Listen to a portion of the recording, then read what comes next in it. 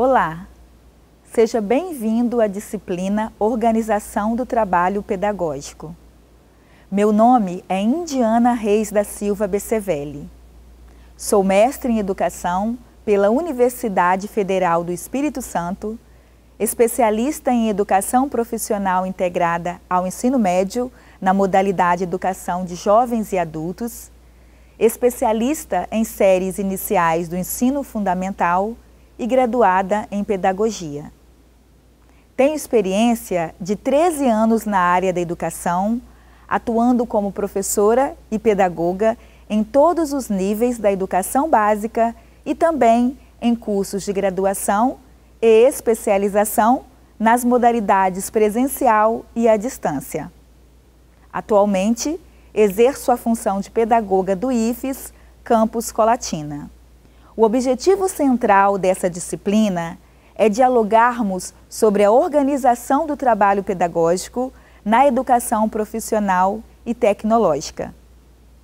A disciplina foi organizada em torno de cinco temas principais: as funções sociais da escola, fundamentos da organização do trabalho pedagógico na educação profissional e tecnológica, formação de professores e perfil docente para a educação profissional e tecnológica, gestão escolar e o papel da equipe diretiva e estratégias, contextos e ambientes de aprendizagem.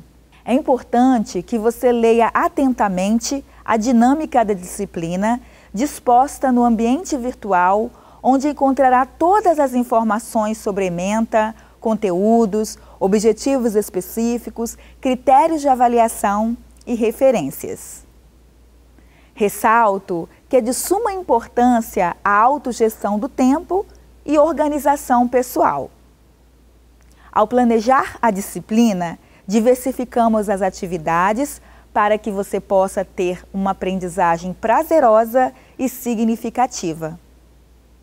Quero reforçar a importância de você aluno, ser autogestor do seu tempo, além de ter comprometimento, dedicação e organização para que possa cumprir todos os prazos estabelecidos e concluir com êxito a disciplina. Toda a organização, desde a concepção até a execução, foi planejada de forma que possibilite a formação de um profissional reflexivo e que compreenda a especificidade da organização do trabalho pedagógico na educação profissional e tecnológica, visando, assim, contribuir para a efetivação de uma educação emancipatória e de qualidade.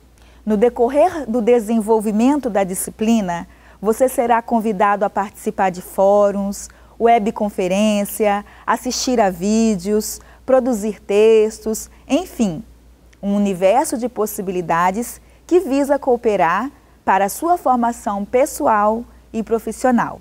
Assim, o meu desejo é que tenhamos uma caminhada de sucesso. E lembre-se, tudo vale a pena se a alma não é pequena. Fernando Pessoa.